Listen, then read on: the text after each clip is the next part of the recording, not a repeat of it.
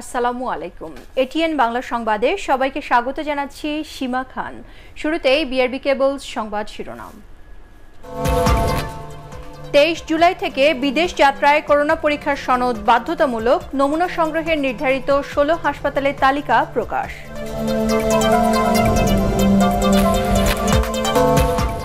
দেশে করোনা ভাইরাসে আক্রান্তের সংখ্যা দুই লাখ ছাড়ালো, নতুন শনাক্ত দুই হাজার সাতশো নয় জন, মৃত্যু চৌত্রিশ।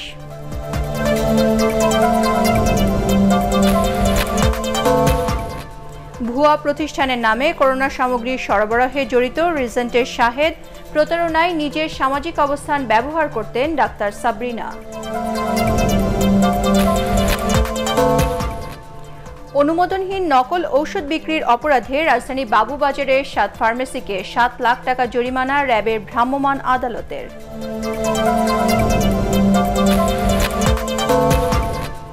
এবং অনলাইনে জমেনি কোরবানির পশু বেচাকেনা, গরুর দাম কম, লোকসানের আশঙ্কায় রাজধানীর খামারিরা। এবারে বিস্তারিত সংবাদ। বাংলাদেশ থেকে আকাশপথে বিদেশ গমনকারী যাত্রীদের করোনা পরীক্ষার সনদ বাধ্যতামূলক করা হয়েছে। তেইশ জুলাই থেকে এই সিদ্ধান্ত কার্যকর হবে। এ বিষয়ে বেসামরিক বিমান পরিবহন ও পর্যটন মন্ত্রণালয় থেকে শনিবার এক বিজ্ঞপ্তিতে বিদেশগামীদের জন্য বেশ কিছু নির্দেশনার পাশাপাশি বিভিন্ন জেলায় করোনা টেস্টের নির্ধারিত হাসপাতালের তালিকা প্রকাশ করা হয়েছে। বিজ্ঞপ্তিতে বলা হয়, গত বারো জুলাই অনুষ্ঠিত আন্তঃমন্ত্রণালয়ের সভায় যাত্রীদের করোনা মুক্ত সনদ নিয়ে বিদেশ গমনের সিদ্ধান্ত গৃহীত হয়। বিমানের নির্দেশনায় বলা হয়েছে, যাত্রার বাহাত্তর ঘণ্টা পূর্বে কোনো নমুনা সংগ্রহ করা হবে না এবং যাত্রার চব্বিশ ঘণ্টা পূর্বে রিপোর্ট ডেলিভারি গ্রহণের ব্যবস্থা করতে হবে। নমুনা দেওয়ার সময় পাসপোর্ট সহ যাত্রীদের বিমান টিকিট উপস্থাপন এবং নির্ধারিত ফি পরিশোধ করতে হবে। ল্যাবে গিয়ে নমুনা দেওয়ার ক্ষেত্রে তিন হাজার পাঁচশো টাকা এবং বাড়ি থেকে নমুনা সংগ্রহে চার হাজার পাঁচশো টাকা ফি ধার্য করা হয়েছে।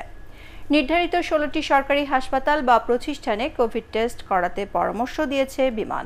প্রতিষ্ঠানগুলো হলো Sylhet M MAG, Osmani medical college, বরিশালের শেরে বাংলা মেডিকেল কলেজ, চট্টগ্রামের Bangladesh institute of tropical and infectious diseases Cox's Bazar medical college Comilla medical college ঢাকার national institute of laboratory medicine and referral centre institute of public health Dhaka national institute of preventive and social medicine Dhaka Narayanganj তিনশো শয্যা হাসপাতাল, Khulna medical college Kushtia medical college Mymensingh medical college Bogura Shaheed Ziaur Rahman medical college Rajshahi medical college M Abdur Rahim medical college Dinajpur ও Rangpur medical কলেজের PCR lab.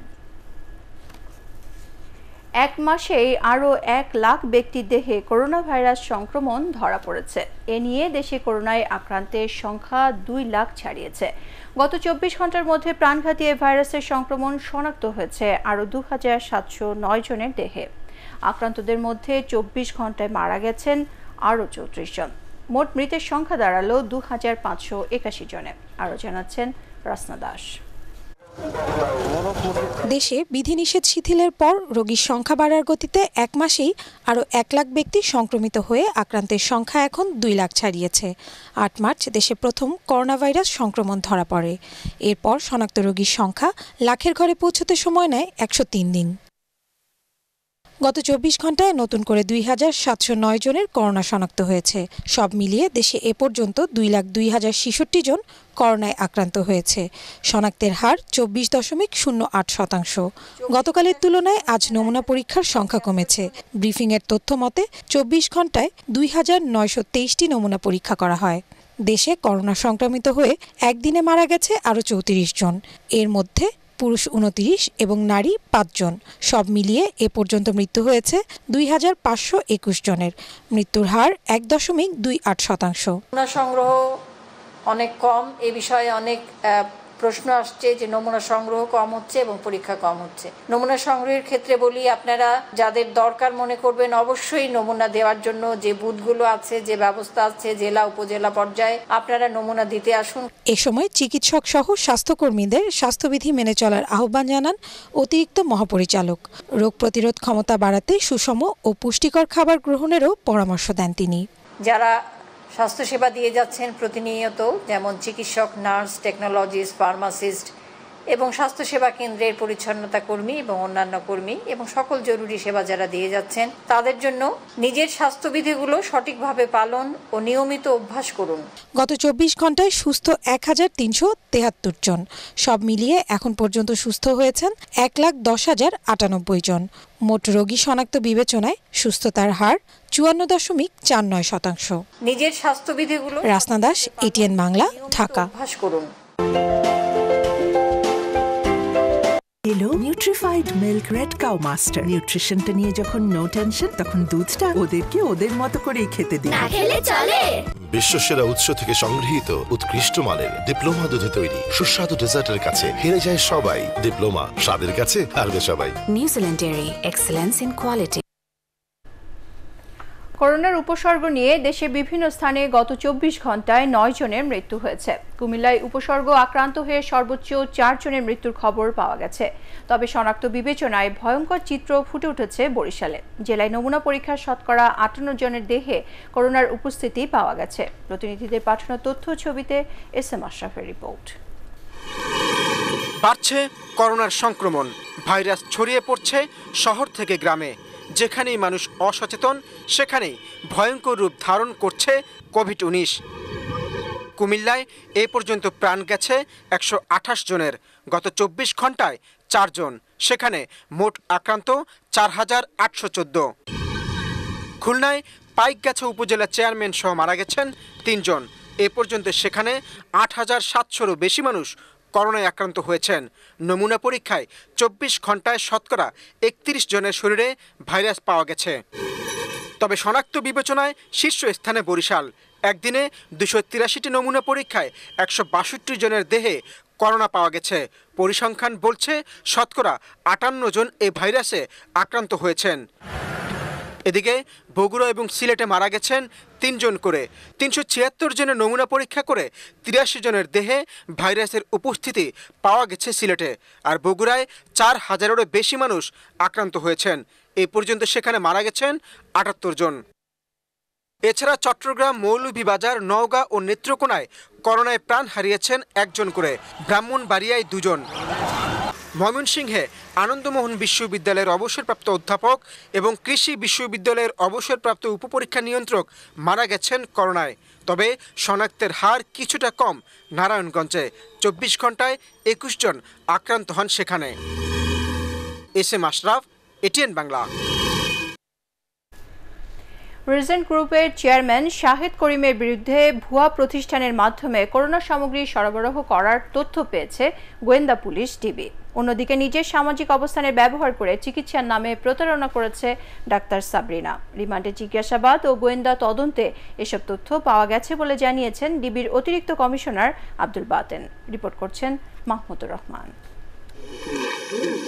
বহুল আলোচিত Regent গ্রুপের chairman Shahed করিম এবং তার প্রতিষ্ঠানের এমডি মাসুদ পারভেজকে দশ দিনের রিমান্ডে নিয়ে জিজ্ঞাসাবাদ করছে গোয়েন্দা পুলিশ ডিবি। রিমান্ডের দ্বিতীয় দিনে প্রতারণা সম্পর্কে গুরুত্বপূর্ণ তথ্য পেয়েছে তারা। বাস্তবে কোম্পানি নেই, অথচ তার নাম ব্যবহার করে বিভিন্ন কাজ করে শাহেদ হাতিয়ে নিয়েছে বিপুল অঙ্কের টাকা। অস্তিত্বহীন কোম্পানিতে কাজ পেয়ে দিতে যারা সহায়তা করেছে, তাদের বিরুদ্ধে তদন্ত করছে গোয়েন্দারা। কোভিড শুরুর দিকে আলবার্ট গ্লোবাল ফ্যাক্টরিজ এই নামে উনি একটা ফেসবুক ওপেন করে উনি একটা গার্মেন্টস ফ্যাক্টরির অস্তিত্ব দেখিয়েছেন, যেটার আসলে বাস্তবে কোনো অস্তিত্ব নাই। তো প্রাথমিক পর্যায়ে এই ফ্যাক্টরির নামে সরকারিভাবে বাংলাদেশের বিভিন্ন হাসপাতালে যে সমস্ত প্রোটেক্টিভ গিয়ার বিতরণ করা হতো এর একটা বিশাল অংশ তার এই ভুয়া ফ্যাক্টরির নামে উনি বিতরণ করেছেন। গোয়েন্দা কর্মকর্তা আরও জানান এসব অনিয়মের বিরুদ্ধে যাদের নাম আসবে তাদের জিজ্ঞাসাবাদ করা হবে। আমরা যতটুকু পেয়েছি সেটা আমরা লিখিতভাবে জানাব। স্বাস্থ্য অধিদপ্তরকে স্বাস্থ্য মন্ত্রণালয়কে যে অনিয়মগুলি আমরা পেয়েছি এখন ওই অনিয়মের ভিত্তিতে স্বাস্থ্য মন্ত্রণালয় এবং স্বাস্থ্য অধিদপ্তর তারা ডিপার্টমেন্টালি ওনারা সেটা দেখবে। এদিকে দ্বিতীয় দফা রিমান্ডের প্রথম দিনে জেকেজি হেলথ কেয়ারের চেয়ারম্যান ডাক্তার সাবরিনাকে জিজ্ঞাসাবাদ করছে গোয়েন্দারা। তার কাছ থেকেও বেশ কিছু গুরুত্বপূর্ণ তথ্য পেয়েছে যা যাচাই বাছাই করে দেখছে গোয়েন্দারা। সাবরিনা ডাক্তার হিসাবে তার যে ফেস ভ্যালু এবং তার যে বিভিন্ন জায়গায় স্বাস্থ্য অধিদপ্তরের সহ বিভিন্ন জায়গায় তার যে পরিচিতি, সেই পরিচিতিটিকে সে ক্যাপিটালাইজ করেছে এবং করে বিভিন্ন প্রতারণার আশ্রয় নিয়েছে। যেই পদ্ধতিতে স্যাম্পল কালেকশন এবং যে সার্ভিস দেওয়ার কথা ছিল কোভিড পেশেন্টদেরকে সেখানে সেই সার্ভিসটা দেয়নি। গুরুত্বপূর্ণ ব্যক্তিদের সাথে সুকৌশলে ছবি তুলে প্রতারণা করেছে রিজেন্ট গ্রুপের চেয়ারম্যান শাহিদ করিম। তার বিরুদ্ধে কোটি কোটি টাকা আত্মসাৎ করারও অভিযোগ রয়েছে। এসব বিষয়ে তদন্ত করছে গোয়েন্দা police DB. Mahmudur Rahman ATN Bangla Dhaka. অনুমোদনহীন ও নকল ঔষধ বিক্রির অপরাধে রাজধানী বাবুবাজারে মেডিসিন মার্কেটে সাতটি ফার্মেসিকে সাত লাখ টাকা জরিমানা করেছে র্যাবের ভ্রাম্যমাণ আদালত। সেই সাথে মিজান মেডিকেল হল নামের একটি ফার্মেসিকে সিলগালা ও এর মালিককে দুই বছরের বিনাশ্রম কারাদণ্ড দেওয়া হয়েছে। মমিনুর রিপনের রিপোর্ট। অনুমোদনহীন ও নকল ওষুধ বিক্রির তথ্য পেয়ে রাজধানীর বাবুবাজারের আলী চেয়ারম্যান মেডিসিন মার্কেটে অভিযান চালায় র্যাব দশ। উদ্ধার করা হয় বিপুল পরিমাণ নকল ওষুধ, যার অধিকাংশই নামি দামি কোম্পানির লোগোসহ। খুচরা ও পাইকারি বিক্রির মাধ্যমে যা পৌঁছে যাচ্ছে দেশের বিভিন্ন প্রান্তে। আটা ময়দা ও রং মিশিয়ে নকল ওষুধ তৈরির অপরাধে মিজান মেডিকেল হল নামের একটি ফার্মেসি এবং এর গোডাউন সিলগালা করা হয় এবং দুই বছরের বিনাশ্রম কারাদণ্ড দেওয়া হয়েছে ফার্মেসির মালিককে। জীবন রক্ষাকারী ওষুধ নিয়ে মানুষের সাথে এমন প্রতারণায় হতাশ র্যাবের ম্যাজিস্ট্রেট। অনুমোদনহীন ভেজাল এবং নকল এবং মেয়াদ উত্তীর্ণ বিভিন্ন ওষুধ তারা মজুত করেছে তারা বিক্রয় করছে বন্টন এবং বাজারজাতকরণের কাজে যুক্ত ছিল। ম্যাক্স প্রো বলেন লোসেপটিল বলেন এগুলো কিন্তু সব নামি নামি কোম্পানির ওষুধ। কিন্তু এখানে তারা কিন্তু হরামেশা এগুলোকে কিন্তু নকল করে ফেলছে। আসলে এটা খুবই দুঃখজনক যে ওষুধের মতো একটা সেন্সিটিভ জিনিস যেটা রোগ সারানোর কাজে ব্যবহার করা হয় তাহলে সেখানেও যদি ভেজাল ঢুকে যায় এটা হতাশাজনক এটা জনস্বাস্থ্যের জন্য কিন্তু চরম হুমকি স্বরূপ। অনুমোদনহীন এসব ঔষধ মানবদেহের জন্য মারাত্মক ক্ষতিকারক বলে জানিয়েছে ওষুধ প্রশাসনের সহকারী পরিচালক। ওষুধ ফার্মেসি যখন আপনি ব্যবসা করবেন একজন ফার্মাসিস্ট থাকে সে সবসময় সচেতন হইবে যে ওষুধ কোম্পানি থেকে ওষুধ কিনবে সে ইনভয়েস নিয়ে কিনবে। এবং এই ওষুধের অনুমোদন আছে কি সে যাচাই করবে। আর এখন অবগতির জন্য সকলে জানাতে আমাদের ওয়েবসাইটে দেওয়া আছে। এদিকে নকল ওষুধ তৈরি এবং বিক্রি রোধে অভিযান অব্যাহত রাখার কথা জানিয়েছে র্যাব। নকল এবং ভেজাল ওষুধের কারখানা এবং গোডাউন আছে এবং এই এই ব্যাপারে আমাদের অনুসন্ধানটি অব্যাহত থাকবে এবং এদেরকে আমরা আইন আওতায় নিয়ে আসব। মমিনুর রিপন এটিএন বাংলা ঢাকা। করোনা মহামারীর মধ্যে দেশের হাসপাতালগুলোতে রোগীদের আস্থা ফেরাতে সংশ্লিষ্টদের প্রতি আহ্বান জানিয়েছেন আওয়ামী লীগ সাধারণ সম্পাদক ও সেতুমন্ত্রী ওবায়দুল কাদের। যারা দুর্নীতিতে বাংলাদেশকে বিশ্ব চ্যাম্পিয়ন করেছিল, তাদের মুখে সরকারের চলমান শুদ্ধি অভিযান নিয়ে প্রশ্ন মানায় না বলেও মন্তব্য করেন তিনি। রাজধানীতে সরকারি বাসভবন থেকে গণমাধ্যমকে দেয়া ব্রিফিংয়ে তিনি এসব কথা বলেন। সংক্রমণের লাগাম টেনে ধরা যাচ্ছে না। নমুনা পরীক্ষা আক্রান্তের সংখ্যা দিন কমলে আবার পরদিন বাড়ছে। বিশেষজ্ঞগণ বলছেন আসন্ন ঈদে সমাগম এড়ানো না গেলে সংক্রমণ উচ্চমাত্রায় পৌঁছে যাবে। হাসপাতাল মুখী করুন জনগণকে। অনেক বেসরকারি হাসপাতালের উপর নানান কারণে রোগীদের আস্থার সংকট তৈরি হয়েছে। তাই আশা করব আস্থা ফিরিয়ে আনুন সংশ্লিষ্ট সকলকে। এ ব্যাপারে দায়িত্বশীল ভূমিকা পালনের আহ্বান জানাই করোনা মহামারীর মধ্যেও বাড়ছে অবৈধ পথে বিদেশ যাত্রার প্রবণতা গত এক সপ্তাহে ইউরোপের বিভিন্ন দেশ থেকে উদ্ধার করা হয়েছে পাঁচ শতাধিক বাংলাদেশিকে বিশ্লেষকরা বলছেন কর্মসংস্থানের সংকট আর উন্নত জীবনের স্বপ্নে অনিশ্চিত পথে যাত্রা করছেন অনেকে মাহবুব কবির চপলের রিপোর্ট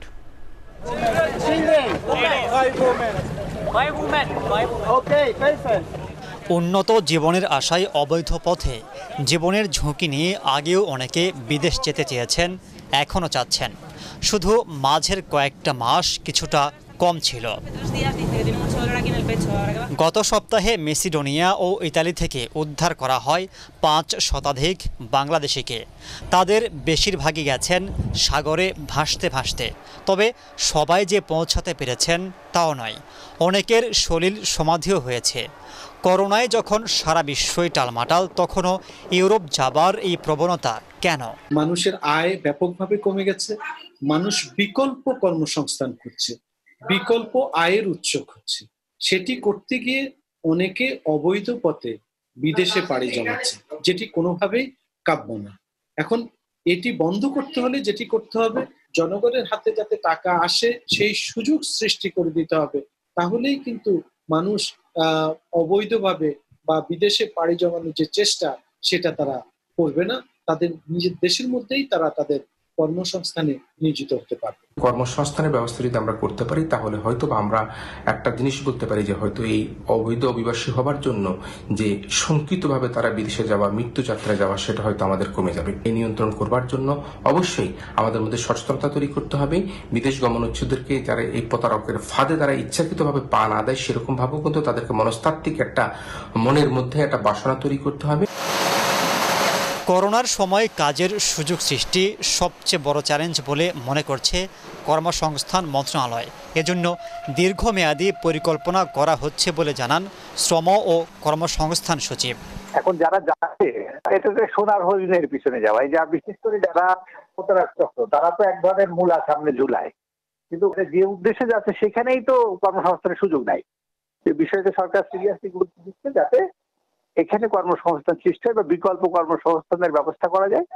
কর্মসংস্থান মানেই তো চাকরি না।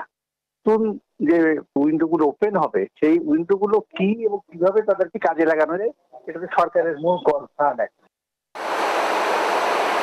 পাশাপাশি বেসরকারি পর্যায়ে কর্মসংস্থানের সুযোগ বাড়াতে বিনিয়োগ বান্ধব পরিবেশ তৈরির পরামর্শ দিচ্ছেন বিশ্লেষকরা। মাহবুব কবির চপল, এটিএন বাংলা, ঢাকা। এখনও জমে ওঠেনি অনলাইনে কোরবানির পশু বেচে কেনা। বেশিরভাগ মানুষই পছন্দ করে গরু কিনছেন খামারে গিয়ে। আর করোনার কারণে গরুর দামও কিছুটা কম, তাই লোকসানের আশঙ্কা করছেন খামারিরা। হাবিবুর রহমান অভি রিপোর্ট। আর মাত্র বারো তেরো দিন পরেই কোরবানির ঈদ। তাই গবাদি পশুর খামারগুলোতে ব্যস্ত সময় পার করছেন খামারিরা। দেশি গরুর পাশাপাশি যুক্তরাষ্ট্র, অস্ট্রেলিয়া সহ বিদেশি গরুও বিক্রি হচ্ছে। তবে করোনা ভাইরাসের কারণে এবার পশু বেচাকেনা কম। দুপুর গড়ালেও রাজধানীর মোহাম্মদপুরের এই খামার এসেছেন মাত্র দুজন ক্রেতা। গতবারের চেয়ে এবার গরুর দামও কম। আমরা সারা বছর পুরা ভুসি খড় যা আছে সবকিছু দামে কিনে খাওয়াতে হয়েছে। কিন্তু এই সময়টা আসার পরে এখন আমরা গরুর দাম ওইভাবে পাচ্ছি না। চারশো পঞ্চাশ বেচছি চারশো তিনশো পঁচাত্তর বেচছি। এবার ধরেন সাড়ে তিনশো চারশো বিশ পঁচিশ। অনলাইনে এই করোনার কারণে ফার্মে লোকজন খুব কম আসে।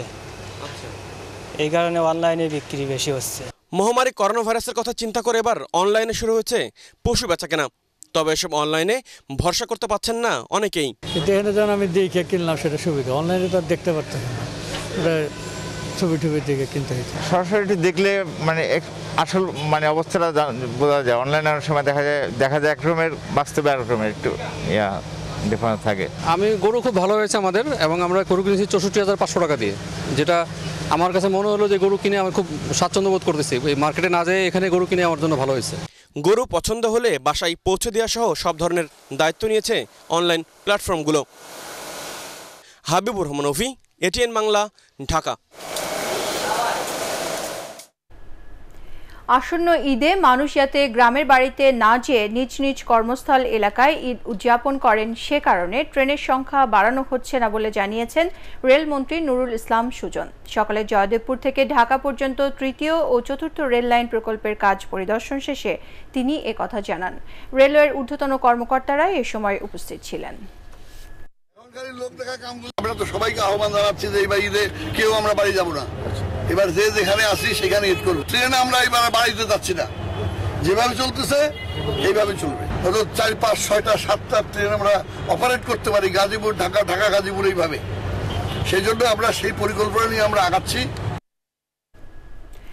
দেশের উত্তরাঞ্চলের বিভিন্ন এলাকায় নদ নদীর পানি কিছুটা কমলেও মধ্যাঞ্চলে বাড়ছে বন্যার প্রকোপ। জামালপুরে বন্যার পানিতে ডুবে মারা গেছে এক শিশু। বন্যা কবলিত এলাকায় শুকনো জায়গার অভাবে বাঁধে আশ্রয় নিয়েছেন লাখো দুর্গত মানুষ। বারো জেলায় এখন পর্যন্ত এক হাজার পাঁচশো চুয়াল্লিশটি আশ্রয়কেন্দ্র খোলা হয়েছে। প্রতিনিধিদের পাঠানো তথ্য, ছবি নিয়ে নিয়াজ্জামান সচিবের রিপোর্ট। দুর্যোগ ব্যবস্থাপনা ও ত্রাণ মন্ত্রণালয়ের হিসেবে দেশের সতেরোটি জেলার বিভিন্ন এলাকা এখন বন্যা কবলিত। এসব দুর্গত এলাকার আশ্রয়কেন্দ্রে মানুষের সঙ্গে আশ্রয় নিয়েছে গবাদি পশুও। গাইবান্ধার দুর্গত এলাকায় মসজিদ ডুবে গেছে, মুসল্লিরা নামাজ পড়ছেন নৌকায়। কুড়িগ্রামে ব্রহ্মপুত্র ও ধরলার পানি রয়েছে বিপদসীমার উপরে। ধরলা নদীতে স্রোতের ভাঙনের হুমকিতে পড়েছে কালোয়া, বন্যা নিয়ন্ত্রণ বাঁধ। জামালপুরে যমুনার পানি বাহাদুরাবাদ ঘাট পয়েন্টে কমলেও পুরাতন ব্রহ্মপুত্র সহ অন্যান্য নদ নদীর পানি বাড়ছে।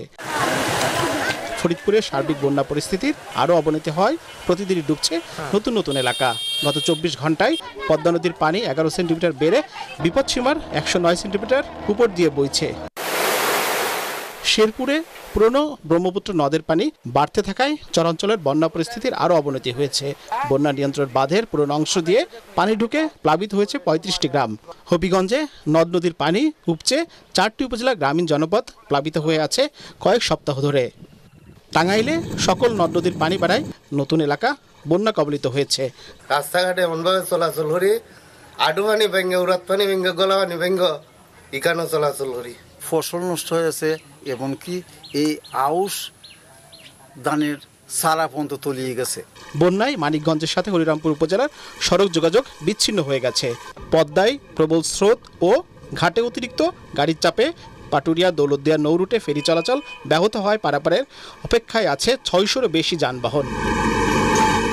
নওগাঁয়, আত্রাই ও ছোট যমুনা নদীর বাঁধ ভেঙে তিনটি উপজেলার শতাধিক গ্রাম প্লাবিত হয় দেড় লাখ লোক পানিবন্দী হয়ে পড়েছে।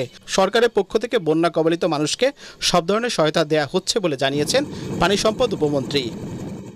উত্তর দিকে কমতেছে আর মধ্যাঞ্চল আর দক্ষিণাঞ্চলে ওই পানিটাই প্রবাহিত হচ্ছে, এই জন্য বাড়তেছে। নিম্নাঞ্চলে বাড়বে, এই মাসটা থাকবে হয়তো। তারপরে ইমপ্রুভ হয়ে যাবে। ইমার্জেন্সি ওয়ার্ক যেখানে যেখানে লাগতেছে, এই এপ্রিল মাসের উনিশ তারিখ থেকেই লকডাউনের মধ্যে আমরা ঝুঁকিপূর্ণ এলাকাগুলোতে কাজ শুরু করছি এবং এটা অব্যাহত থাকবে। তবে নদ নদীর পানি কমে যাওয়ায় বন্যা পরিস্থিতির উন্নতি হচ্ছে নেত্রকোনা ও বগুড়ায়। এদিকে বন্যা পূর্বাভাস ও সতর্কীকরণ কেন্দ্র জানিয়েছে, ব্রহ্মপুত্র, যমুনা, পদ্মা ও মেঘনা নদীর পানি বাড়লে দেশের বিশ থেকে চব্বিশ জেলা বন্যা কবলিত হয়ে পড়বে। নিয়াজ জামান সজীব এটিএন বাংলা। বাংলাদেশ নৌবাহিনীর রিয়ার অ্যাডমিরাল মোহাম্মদ শাহিন ইকবালকে ভাইস অ্যাডমিরাল হিসেবে পদোন্নতি দিয়ে নৌবাহিনী প্রধানের দায়িত্ব দিয়েছে সরকার। আগামী পঁচিশ জুলাই থেকে তিন বছরের জন্য তার এই নিয়োগ কার্যকর হবে বলে শনিবার এক প্রজ্ঞাপনে জানিয়েছে প্রতিরক্ষা মন্ত্রণালয়। গত সাত মাস ধরে সহকারী নৌপ্রধান অপারেশনস হিসেবে দায়িত্ব পালন করে আসা শাহিন ইকবাল নৌবাহিনী প্রধান পদে অ্যাডমিরাল আবু মোজাফর মহিউদ্দিন আহমেদ আওরঙ্গজেব চৌধুরীর স্থলাভিষিক্ত হচ্ছেন। আবু মোজাফর মহিউদ্দিন আহমেদ আওরঙ্গজেব চৌধুরী পঁচিশ জুলাই চাকরির মেয়াদ পূর্ণ করে অবসর প্রস্তুতির ছুটিতে যাচ্ছেন বলে আলাদা এক আদেশে জানিয়েছে প্রতিরক্ষা মন্ত্রণালয়।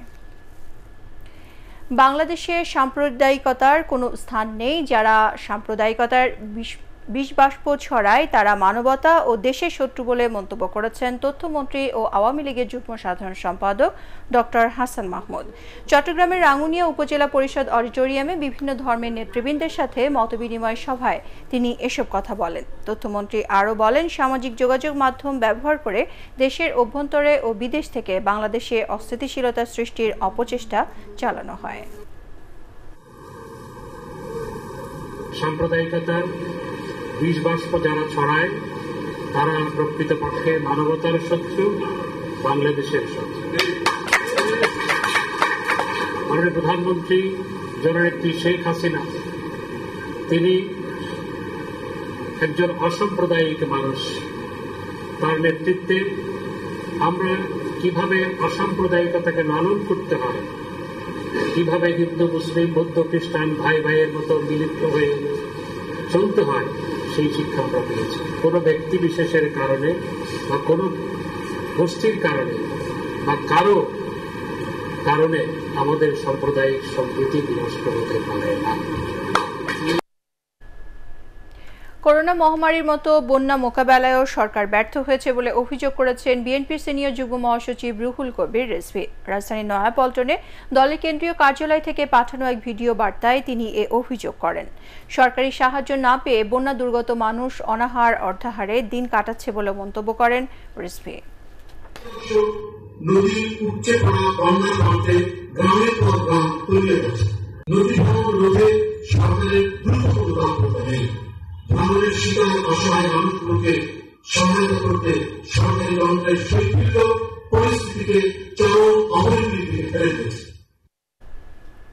দেশের সংসদীয় গণতন্ত্রের নামে রাষ্ট্র ক্ষমতা একজনের হাতে কেন্দ্রীভূত করা হয়েছে বলে মন্তব্য করেছেন জাতীয় পার্টির চেয়ারম্যান জি এম কাদের।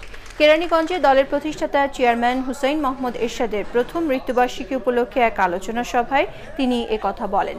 জি এম কাদের বলেন, উনিশশো নব্বই সালে তথাকথিত স্বৈরাচার বিরোধী আন্দোলনের মুখে এরশাদ ক্ষমতা ছেড়ে দেওয়ার পর দেশের সংসদীয় সরকার ব্যবস্থা চালু হয়েছে। কিন্তু এতে সংসদীয় গণতন্ত্রের নামে সংসদীয় স্বৈরতন্ত্র প্রতিষ্ঠিত হয়েছে এক ব্যক্তির হাতে সম্পূর্ণ ক্ষমতা দিয়ে সংবিধান সংশোধন করা হয়েছে। এবং সেখানে এক ব্যক্তির ইচ্ছায় সংসদের কোনো ক্ষমতা নাই, কারও কোনো ক্ষমতা নেই তার বাইরে যাওয়ার জন্য। এটা কি আসলেই সংসদীয় গণতন্ত্র, নাকি সংসদীয় এক নায়কতন্ত্র এটাকে এটা সংসদীয় গণতন্ত্র, নাকি সংসদীয় স্বৈরাচার? এই বিষয়গুলি সম্পর্কে আমাদের আলাপ আলোচনা করা উচিত। ভবিষ্যতে কি করলে ভালো হয়, আমি মনে করি যারা দেশপ্রেমিক রাজনীতিবিদ তাদের এসব নিয়ে চিন্তা করার সময় এসেছে। এবারে আল্লারাফ ইসলামী ব্যাংক অর্থ সংবাদ।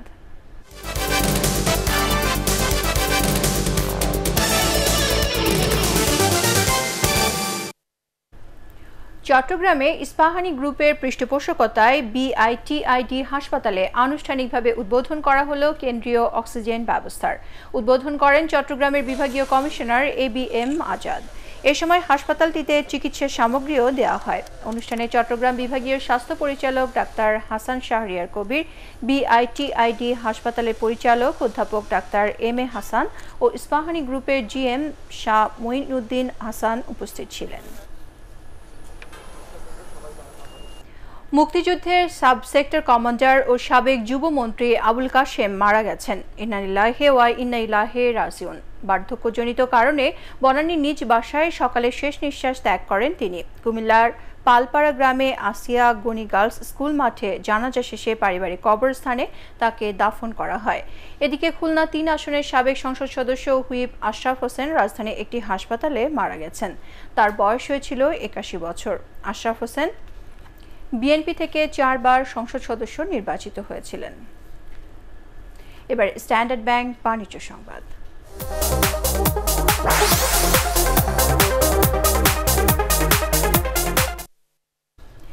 পাবনায় পপুলার লাইফ ইন্স্যুরেন্স কোম্পানি লিমিটেডের নিজস্ব ভবনের উদ্বোধন করা হয়েছে। অনুষ্ঠানের প্রধান অতিথি ছিলেন কোম্পানির ব্যবস্থাপনা পরিচালক ও সিইও এবং বাংলাদেশ ইন্স্যুরেন্স ফোরামের president B M Yusuf Ali. বিশেষ অতিথি ছিলেন কোম্পানির অতিরিক্ত ব্যবস্থাপনা পরিচালক বি এম শওকত আলী ও উপ ব্যবস্থাপনা পরিচালক সৈয়দ মোতাহার হোসেন। কোম্পানির উপ ব্যবস্থাপনা পরিচালক নওশর আলী নাইম ও কোম্পানি নির্বাহী পরিচালক সহ কোম্পানির ঊর্ধ্বতন কর্মকর্তারা এই সময় উপস্থিত ছিলেন। এখন পার্টেক্স খেলার খবর।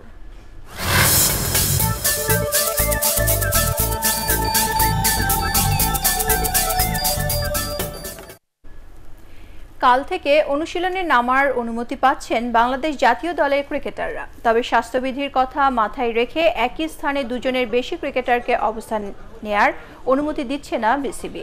এরই মধ্যে অনুশীলনে ফিরতে আগ্রহ প্রকাশ করেছেন মুশফিকুর রহিম ইমরুল কায়েস, মোহাম্মদ মিঠুন, শফিউল ইসলাম, সৈয়দ খালেদ আহমেদ, মাসুম আহমেদ, মেহেদি হাসান, নুরুল হাসান ও নাইম হাসান। আপাতত সাত দিনের একটি অনুশীলন সূচি তৈরি করেছে বিসিবি। সে অনুযায়ী মিরপুরে অনুশীলন করবেন মুশফিক, ইমরুল, মিঠুন ও শফিউল। সিলেটে খালেদ ও নাসুম। খুলনায় মেহেদি ও নুরুল আর চট্টগ্রামে নাইম। ব্যাটসম্যানরা আপাতত জিম ও পঁয়তাল্লিশ মিনিটের স্কিল ট্রেনিং করবেন।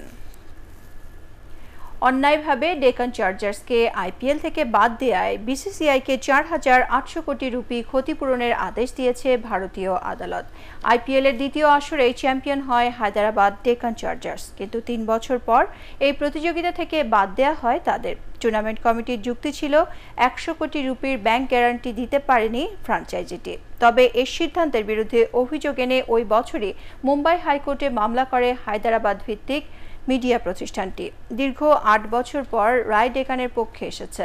এদিকে বিসিসিআই জানিয়েছে, রায়ের কপি হাতে পাওয়ার পর এ ব্যাপারে সিদ্ধান্ত নেওয়া হবে। সংবাদ শেষ করার আগে বিআরবি কেবল শিরোনামগুলো আরও একবার। তেইশ জুলাই থেকে বিদেশ যাত্রায় করোনা পরীক্ষার সনদ বাধ্যতামূলক নমুনা সংগ্রহের নির্ধারিত ষোলো হাসপাতালের তালিকা প্রকাশ।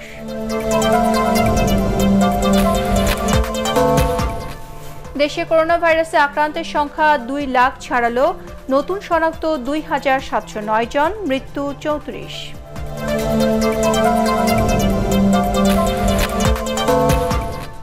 ভুয়া প্রতিষ্ঠানের নামে করোনা সামগ্রী সরবরাহে জড়িত রেজেন্টের শাহেদ, প্রতারণায় নিজের সামাজিক অবস্থান ব্যবহার করতেন ডাক্তার সাবরিনা। অনুমোদনহীন নকল ঔষধ বিক্রির অপরাধে রাজধানী বাবুবাজারে সাত ফার্মেসিকে সাত লাখ টাকা জরিমানা র্যাবের ভ্রাম্যমাণ আদালতের।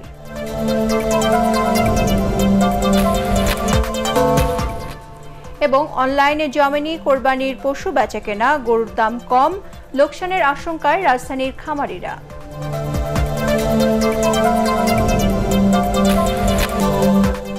পরবর্তী সংবাদ দেখার আমন্ত্রণ জানিয়ে এখনকার মতো শেষ করছি। সবাই ঘরে থাকুন, নিরাপদে থাকুন। এটিএন বাংলা সংবাদ ইউটিউবে দেখতে ব্রাউজ করুন YouTube slash ATN Bangla news